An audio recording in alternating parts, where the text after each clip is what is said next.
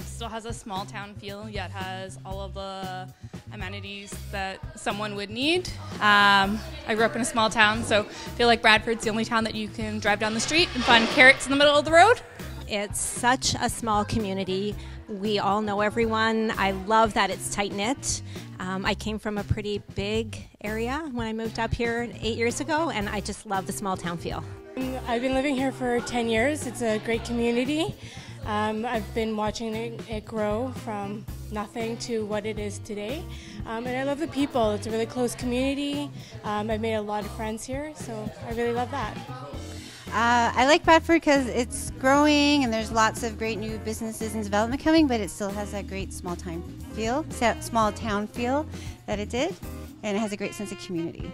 It's a small town. I grew up in the country, and I moved to the city, and then I just we my husband and I decided we're to move to Bradford, and we love it here. Everyone's nice. It's a big town with a small town feel.